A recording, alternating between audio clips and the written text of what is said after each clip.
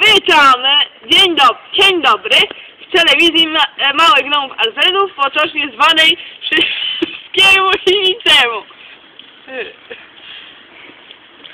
Dzień będziemy, jak już było w programie, masakrować i poddawać totalnej destrukcji butelkę znajdującą się z nim napojem.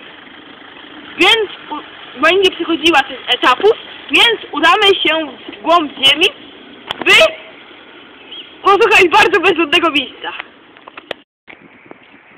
Jedziesz. To jest kukurydza, kukurydza z Łomrek. Dzień dobry Państwu, właśnie chciałem przedstawić kukurydzę z Łomrek, która jest wytrzymała oryginalna i najlepsza na świecie. Jestem kurwa, Jedziesz. Zbijamy po krótkiej przerwie.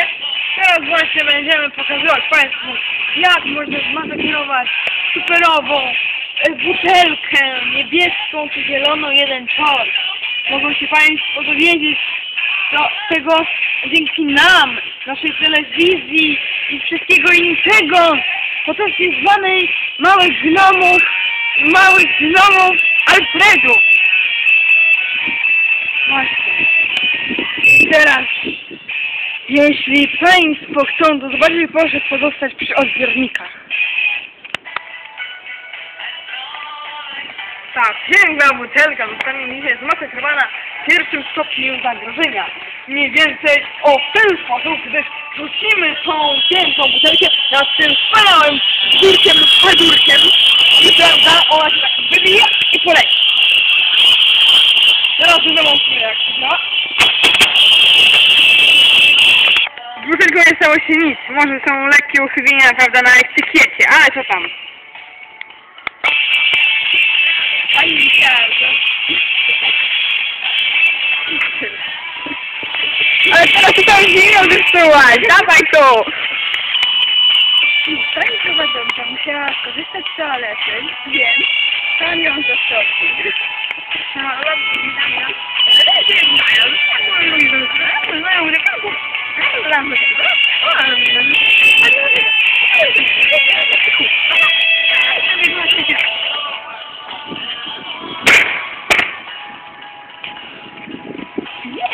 No, dawaj.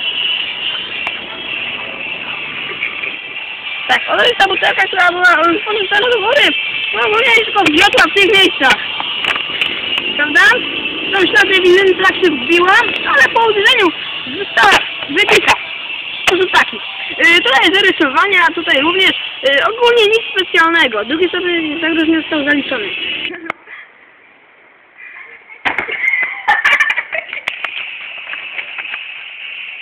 Trafiłem w butelkę, ale w sumie nic się nie stało.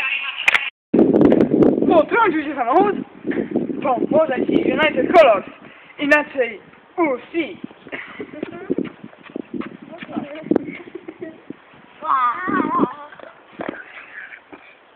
Tylko marki powstają.